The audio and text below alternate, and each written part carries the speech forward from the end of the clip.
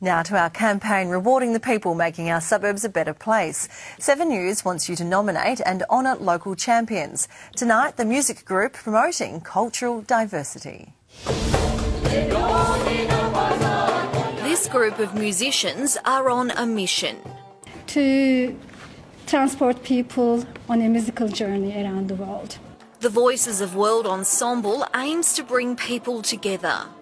Learning to sing and play songs from different cultures, countries, and languages.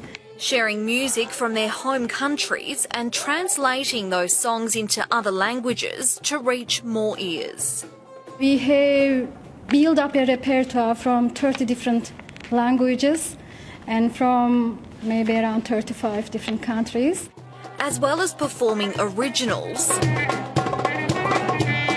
they are also composing their own material. We are building a very inclusive repertoire uh, with our own original um, arrangements.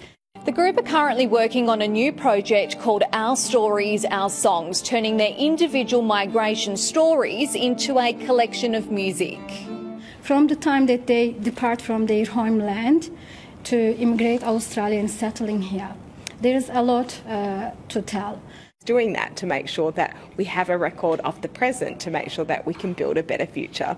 If you or someone you know is making a difference, like Phyllis and the Voices of World Ensemble, we want to hear about it. 7 News has set up eight categories for Perth local champions. Head to 7news.com.au forward slash local champions for all the details. Using music for more than just entertainment. Creating that sense of unity and belonging. Gemma Veroni, 7 News.